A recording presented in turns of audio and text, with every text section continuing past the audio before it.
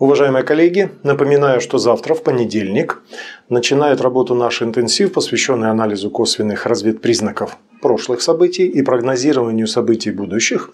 Все, кто зарегистрировался на этот интенсив, внимательно следите за почтой, вам должно прийти письмо с алгоритмом действий. Если вы не можете найти это письмо, проверьте папку э, «Спам», Возможно, письмо попало туда. Если возникают технические вопросы, э, в подписи к этому видео есть э, ссылочка на поддержку. Вы можете написать туда, и вы, ну, в общем-то, все любые вопросы мы решим.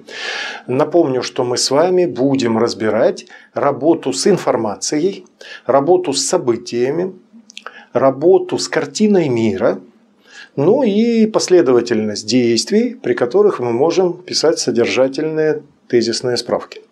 А, мы занимаемся понедельник, среда, пятница. В воскресенье у нас итоговая игра, деловая игра, которая на практике мы с вами попробуем все приобретенные навыки и инструменты закрепить ну, на теле. Да? Все, что мы видим и слышим, это слухи, а все, что мы проделаем хотя бы раз, а, это навыки. Ну, а наша цель этого интенсива – это приобрести соответствующие навыки. Все ссылки в описании.